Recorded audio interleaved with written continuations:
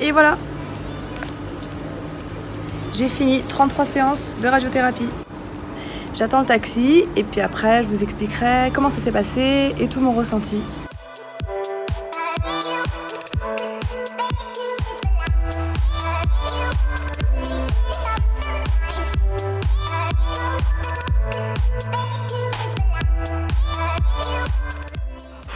Il fait tellement chaud, je me suis changée, je suis rentrée.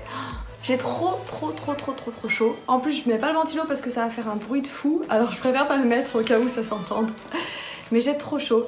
Euh, je suis rentrée trop contente d'avoir fini euh, mes 33 séances de radiothérapie. Euh, je réexplique pas tout pour ceux qui n'ont pas suivi toutes mes vidéos. Donc j'ai fait de la chimiothérapie, de la radiothérapie pour un cancer du sein.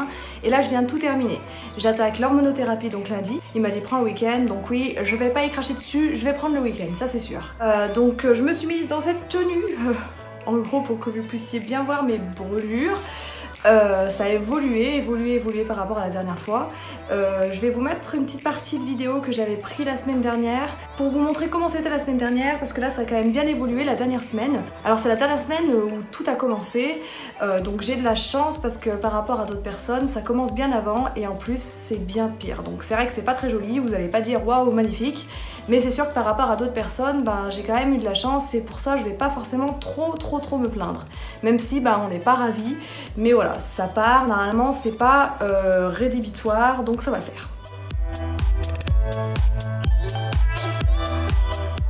Donc vous voyez ici j'ai un carré rouge, donc euh, vu que les rayons sont montés très haut, ça monte jusqu'ici. Donc par rapport à ce que je vous ai montré la semaine dernière, euh, j'avais l'impression que c'était un, petit peu plus rouge. Mais bon là c'est un petit peu moins rouge j'ai l'impression, mais c'est surtout ici où l'on a euh, quelque chose d'assez dégueulasse. Donc c'est rouge bronzé et euh, même ouvert ici, donc quasiment euh, carrément noir. donc du coup, pourquoi ça a été plus ici? Parce que là, ils ont fait une plus grosse dose à cet endroit, parce qu'à partir de la semaine d'avant, ils ont arrêté de faire carrément sous sein, ici, partout. Et là, ils ont fait en plus grosse dose sur la cicatrice, à l'endroit où il y avait la tumeur. Bon, je vais toute rouge, hein, mais c'est que il fait très chaud c'est pas très grave. Euh, donc du coup c'est pour ça qu'à cet endroit là on est beaucoup plus rouge. Ensuite autre chose que beaucoup de gens euh, ne savent pas c'est que quand on fait des rayons, on a des fuseaux euh, d'entrée, entre guillemets, on peut appeler ça comme ça, et des fuseaux de sortie. Donc le rayon rentre, mais il sort. Donc faut savoir que quand il rentre, on a la grosse dose à l'endroit où on le veut. Donc la grosse dose, elle n'est pas dans vos poumons, voilà, mais elle est à l'endroit où vous voulez, enfin où vous avez eu le problème. Et ensuite, il sort. Donc euh, moi, j'ai été bronzée dans le dos, je me suis dit, bah peut-être que j'ai bronzé. Euh, voilà, je bronze vite. Oui, je suis blanche, mais je bronze vite, hein, je précise. Mais non, c'était pas ça. C'était le fuseau de sortie. Ça, j'ai fini par l'apprendre. Euh, donc moi, je ne savais pas qu'il y avait un fuseau de sortie. Les manip radio m'en ont parlé. Donc, je vous montre à quoi ça ressemble aussi dans le dos. Vous voyez, c'est un peu rouge. C'est un peu rouge, mais c'est vraiment pas un truc de dingue, le fuseau de sortie. Faut vraiment mettre euh, de la crème protectrice. C'est pas non plus comme euh, le devant, quoi. C'est moins pire. Donc moi je mets la pommade Cicabio. Je vous mets en lien en description les vidéos sur la radiothérapie, que celles basées sur la radiothérapie, euh, pour relier un petit peu tout mon parcours. Et dans la dernière, j'avais dit que je mettais la crème Cicabio, sauf que c'est pas la crème, c'est la pommade, je me suis trompée, parce qu'en fait la crème c'est pour les brûlures mineures et la pommade pour les brûlures majeures. Alors si pour vous c'est des brûlures mineures, je sais pas ce qu'il vous faut. Donc voilà les effets secondaires que j'ai eu. Euh, mettez-vous pas en tête qu'on aura tous les mêmes. On est tous différents encore, je le précise. C'est pas parce que moi j'ai été un peu brûlée sous le bras et pas sur le sein que vous aurez exactement la même chose. Il y a des gens qui ont absolument rien ou voire très peu et des gens qui ont beaucoup plus. Et c'est comme ça. Malheureusement on peut rien y faire. Et pourtant j'ai une peau qui bronze très très vite. Euh, je suis peut-être blanche de peau mais j'ai une peau qui bronze très très vite. Donc j'ai quand même eu quelques petites choses. Tout ça sans conjureur, euh, sans magnétiseur, nickel. Donc euh, moi j'avais refusé de le faire euh, et, je le regrette pas du tout. Et ça va vite partir franchement, il faut compter je pense, ça, ça, c'est moi qui le dis, c'est une estimation, je sais pas, je dirais un mois, après voir avec votre médecin, mais normalement ça part, ça reste pas. Le truc qui m'embête plus c'est le bras qui gonfle, donc là comme vous voyez il a quand même bien dégonflé, donc vous voyez c'est surtout là qu'il est gonflé. Euh, donc le kiné, euh, j'y vais, voilà, j'y vais deux fois par semaine. Et le médecin m'a dit que le bras pouvait gonfler deux ans après la radiothérapie. Pourquoi? Parce que ben il faut deux ans à peu près. Et il y a des bras qui gonflent et là c'est rédi... Non, c'est rédi... C'est irréversible. Donc c'est pareil, ça dépend de là où vous avez des rayons. Moi j'en ai eu aux endroits euh, plus vers les selles qui peuvent être susceptibles de faire gonfler le bras. On a une chance sur trois je crois, mais euh, c'est pareil. Peut-être que votre médecin va vous dire que vous, vous n'avez euh, aucune malchance, on va dire, à avoir ça. Et peut-être qu'il va vous dire, vous êtes dans le 1 cas sur 3, non, 2 cas sur 3, je sais plus. 2 cas sur 3 je crois, je sais plus, enfin un truc comme ça. non, un cas sur 3, enfin bref. Euh, vous êtes dans, ce cas-là où vous pouvez peut-être avoir le bras qui gonfle. Donc ce qu'il faut, c'est quand même continuer la kiné, c'est important par rapport à ça, parce que ça permet à la lymphe d'aller aux ganglions qui restent. Parce que le bras gonfle, pour ceux qui ne sont pas au courant, pour ceux qui ont fait un curage ganglionnaire, euh, la lymphe est, filtrée par les ganglions, et du coup là, elle ne sait pas où se filtrer, forcément, puisqu'on a enlevé les ganglions qui filtre cette lymphe. Mais avec euh, la kiné, ça permet euh, donc euh, de stabiliser. Moi, avec la chaleur, malheureusement, ça gonfle un petit peu plus que ce que ça devrait et ça c'est normal pour les personnes qui ont de la lymphe comme ça comme moi ça, reste, bloqué plus enfin ça gonfle plus en tout cas donc ça va mieux, déjà il dégonfle, euh, ça stabilise et on va essayer de, voir euh, à la fin du mois si on peut s'arrêter pendant une semaine pour voir si ça continue à se stabiliser comme ça. Pour voir si on peut espacer carrément les séances quoi. Parce que c'est vrai que les rayons tous les jours, donc là c'est fini. Mais ensuite la kiné deux fois par semaine. Si après j'ai envie de retravailler, ben ça va, ça va peut-être me bloquer aussi un petit peu, même si c'est à côté de chez moi, qui sont super sympas. Euh, d'ailleurs, là où j'ai fait mes traitements, euh, tout le monde a été très agréable, euh, les radiothérapeutes, en chimio, euh, la plupart des médecins. c'est vrai qu'en radiothérapie j'ai vu beaucoup de médecins différents. En chimio aussi, mais c'était différent parce que c'était pas pareil en fait. J'avais pas l'impression qu'on me dise beaucoup de choses différentes. Tout le monde était à peu près sur, le même. voilà, le sujet était, compris. Moi je l'avais compris et tout le monde avait plutôt le même. Tout le monde disait la même chose en fait. Alors qu'en radiothérapie, en fait, on me rajoutait tellement plein d'effets secondaires. Et ce qui a été terrible pour moi, ça a été la pause en fait. La pause euh, que j'ai faite entre l'opération, vu qu'il fallait que ça cicatrise, et les radiothérapies, donc ce qui est logique. Et ça a été terrible pour moi parce que quand je suis retournée là-bas, j'avais l'impression de repartir sur un cycle. Et ça, ça a été compliqué. Donc c'est vrai que j'ai eu du mal avec ça. Donc j'y suis pas allée aussi joyeuse, aussi... Euh, je dis pas que j'y allais en rigolant à la chimio, hein, enfin je veux dire faut pas abuser.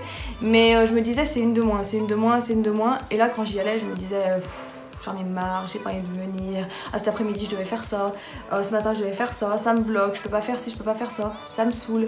Après dans nos têtes on dit qu'il y a pire, c'est sûr que voilà, c'est pas non plus comme si on faisait une demi-journée de dialyse deux fois par semaine et ça jusqu'à qu'on ait un rein. Enfin voilà, c'est même si c'est chaque cas est compliqué et c'est très très dur aussi et voilà. Mais euh, il faut relativiser. Même les personnes qui, sont en dialyse il faut qu'elles relativisent c'est sûr mais ça c'est facile à dire mais il faut le faire quoi. Et c'est vrai que quand j'ai eu des médecins différents quand je suis tombée sur un, nouveau médecin qui m'a encore dit de nouvelles choses bah c'est pas passé quoi. Et du coup euh, j'ai dit non mais j'en ai marre de voir des médecins différents je veux voir mon médecin de base. C'était pas contre lui parce que c'était quelqu'un qui était très gentil, qui, qui avait l'air compétent, mais malheureusement, bah, je voulais voir mon radiothérapeute, celui qui s'occupait de moi, qui connaissait mon dossier, parce qu'en fait, j'en pouvais plus qu'on me rajoute des choses. Déjà, à la pause, ça a été dur d'y retourner, et on me dit euh, cet effet secondaire là, cet effet secondaire là, on sait pas comment ça va se passer. C'est assez stressant. C'est vrai que de passer. Euh, voilà, c'est assez stressant. Le médecin, je le voyais une fois par semaine, donc tous les vendredis, je le voyais. Euh, donc à chaque fois, des fois, je voyais un, un interne, un nouveau médecin, et ça me saoulait parce que alors qu'en chimio, pas du tout. Je voyais toujours des médecins différents. Euh, une fois sur deux, ou voire des fois une fois sur trois, je voyais euh, mon oncologue de base. Mais bon, donc voilà. Donc là, je vais voir mon oncologue euh, lundi. Je commence l'hormonothérapie lundi, je vois mon oncologue lundi. Donc aujourd'hui, on est le 26 où j'ai terminé ma radiothérapie. Et lundi, on sera le...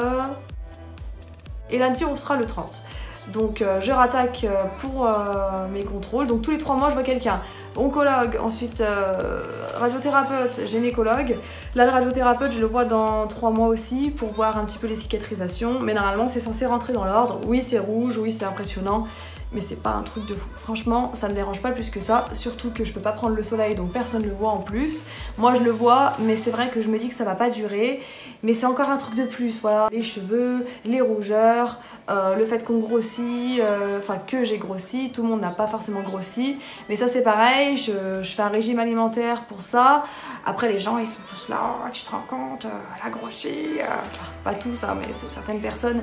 Oui, bah oui, quand on a des traitements comme ça, ou on maigrit, ou on grossit, ou il n'y a rien, mais en tout cas pour mon cas, on grossit. On a une ménopause médicamenteuse, on a des médicaments qui nous affament, la cortisone, que des choses qui peuvent nous faire manger. Le seul truc qu'on a, bah on peut pas sortir, on se sent pas bien, c'est quand on a un peu faim, c'est manger. donc voilà, oui, voilà, j'ai grossi. Euh, je fais des régimes alimentaires, euh, je fais du sport et puis ça rentrera dans l'ordre. Mais euh, voilà, faut se mêler de fesses, pour ceux qui disent ça, non je rigole, mais oui, il y a des gens qui sont là, oh, tu te rends compte? Bah oui, voilà, on peut pas rester égal à nous-mêmes. Mais déjà, ça va beaucoup mieux. des fois, j'ai des moments de, de, bas, de très bas, où je me sens pas bien, où je me dis je suis pas bien, j'ai pas de cheveux, l'hormonothérapie, j'ai peur, qu'est-ce que ça va me faire, les effets secondaires? Et c'est pas évident, mais en tout cas je vous ferai une vidéo sur l'hormonothérapie pour vous dire euh, avec le temps ce que j'en ai pensé, les effets secondaires que j'ai eu. Et puis voilà, donc euh, j'ai peur de l'hormonothérapie. Donc pour ceux qui ne sont pas au courant, l'hormonothérapie c'est un cachet que je prends tous les jours pendant 5 ans. Euh, contre hormones, en fait c'est de l'hormonothérapie, mais c'est pour arrêter les hormones sexuelles, pour euh, éviter qu'on ait des hormones sexuelles, parce que le cancer est hormonodépendant, hormonopositif, et donc du coup il se nourrit d'hormones. Donc s'il n'y a plus d'hormones qui fonctionnent, plus d'hormones sexuelles, normalement, voilà, tout va bien. Donc euh, on a peur de faire des récidives, on y pense, on, y pense, voilà, il y a des fois je suis pas bien je vais me mettre à penser à ça, mais il faut pas, faut pas, faut se dire bah on fait tout pour pas en faire, même s'il y a des facteurs de risque, voilà, partout, tout le temps. Euh, à un moment donné, il faut vivre aussi. Je peux pas non plus dire bah je fais plus ci, je fais pas ça, je fais. On fait quand même. Euh, on a déjà pas mal de restrictions. voilà. Mais c'est vrai qu'il faut pas croire non plus que c'est facile tous les jours. Mais il faut garder euh, l'espoir, il faut se dire que voilà, 5 ans c'est long, mais ça va passer, on va prendre les cachets, on n'aura pas forcément des effets secondaires comme tout le monde, on n'aura pas forcément les mêmes que tout le monde, et puis euh, voilà quoi, il n'y a pas de raison que ça se passe mal. Et de toute façon, je vous ferai une vidéo spéciale hormonothérapie parce qu'il y a tellement de choses à dire sur ça. Il y a tellement de gens qui se posent plein de questions. Et, euh, et puis surtout, il y a tellement de gens qui savent pas exactement ce qu'ils prennent parce que ben quand en fait le problème la l'hormonothérapie c'est qu'on va nous, nous dit qu'on va prendre un, cachet qui est l'hormonothérapie sauf qu'on sait pas ce que c'est, on sait pas ce que ça fait, on sait pas pourquoi donc on n'a pas envie après tout ça de se dire on va se gober un cachet pendant 5 ans sauf que quand on, nous explique correctement les choses on se dit d'accord c'est vraiment important il faut le faire donc voilà, donc je vous ferai carrément un truc entier sur ça. Euh, il y a aussi l'herceptine que je fais, la petite piqûre dans la cuisse pendant un an, toutes les trois semaines. Donc ça, je continuerai à la faire, mais c'est pareil, euh, ça prend 5 minutes, c'est pas non plus euh, super chiant, c'est pas trop trop contraignant. Je finis en janvier en plus, donc c'est vraiment le cadet de mes soucis. Avec ça, donc je fais le cardiologue tous les 3 mois pour voir si ça n'abîme pas le cœur parce que c'est l'effet secondaire premier de l'herceptine, ça peut abîmer le cœur, mais c'est pareil. Euh, c'est pas toute notre vie, ça se refait avec le temps. Et pour le moment, j'ai aucun souci, ça se passe nickel. Mon petit cardiologue, euh, je l'ai décoincé, hein, parce qu'il était un peu coincé au début. Euh, et non, non il, est, il, est, au top, quoi. Maintenant, ça se passe bien. Non, non, tout va bien, votre cœur, c'est nickel. Donc, franchement, tant mieux. Tant mieux. là, vous voyez, il y avait une marque, là, une croix que j'avais avec la crème, elle, est, partie. Bon, je l'avais ce matin, mais j'ai tellement mis de crème, j'ai tellement. Euh, voilà, que du coup, elle est déjà vite partie avec un coton. Euh, j'ai un peu enlevé, mais il faut éviter de, trop frotter parce que là, c'est pas possible. Sinon, ça va vous agresser la peau. Euh, il faut éviter de trop agresser, vous mettez de la crème. Et là, ce que je vais faire, là, juste après la vidéo, je vais aller me mettre dans ma douche et je vais me laver jusque-là pas mettre de savon, c'est pareil, pas frotter, mais de l'eau. Au moins, je me lave, euh, je, me lave la tête, j'enlève ma perruque, je me lave les cheveux, je, oh, je me mets au top, je vais les mettre dans la douche, je vais être trop bien parce que, je répète, il crève de chaud là. Là, franchement, il, fait trop chaud. Et, mais bon, je vais pas me plaindre, c'est quand même moins pire que l'année dernière, je trouve. En tout cas, euh, je suis bien contente d'être tombée sur du personnel euh, comme il y a eu donc euh, sur le lieu de traitement que j'ai eu. C'était vraiment bien parce qu'au final, on est bien bien accueillis. On n'est pas toujours dans notre assiette, on n'est pas toujours bien luné, on va dire, parce que on est dégoûté de venir. Sans être désagréable non plus, mais voilà, c'est vrai que des fois on n'a pas trop envie de parler. Donc je suis contente d'avoir terminé. c'est sûr que dans ce contexte-là, non, c'est chiant. Mais le personnel est très agréable. Euh, donc ça c'était une bonne chose. Et pareil euh, les taxis qui m'emmenaient euh, à, mes traitements c'était super. Franchement moi j'ai trouvé que c'était le top. Voilà, je pense que j'aurais difficilement pu trouver mieux. Donc je vais continuer les vidéos, j'ai encore plein de choses à dire, il y a plein de choses à raconter, comment j'entretiens ma peau pour les brûlures, comment ça a évolué, en combien de temps ça a évolué, euh, l'hormonothérapie, il y a plein plein plein de choses, les perruques aussi, il faudrait que je refasse des vidéos sur les perruques parce que j'en ai d'autres à vous présenter et euh, c'est vrai qu'on voit encore des personnes qui achètent des perruques et qui, savent pas trop les acheter donc justement bah, je vous aiguillerai un petit peu. Mais c'est vrai que même si on est entouré, euh, famille, amis, ça fait du bien d'être entouré aussi de personnes qui ont été dans la même situation que nous. Parce que quand on est malade, bah, la maladie, bah, c'est notre, euh, notre euh, quotidien, c'est notre vie. Et c'est vrai qu'être entouré de personnes qui comprennent, bah, ça fait du bien. Même si nos amis, notre famille bah, comprennent un minimum ce qu'on vit.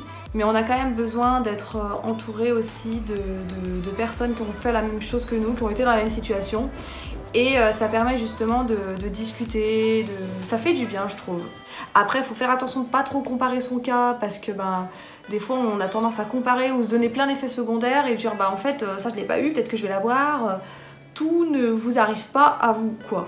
Ça veut dire qu'il y a des effets secondaires qui vont vous arriver à vous et pas à la voisine, et vice versa. En tout cas, merci d'avoir regardé la vidéo. Vous pouvez l'aimer si vous avez aimé. Vous n'êtes pas forcé.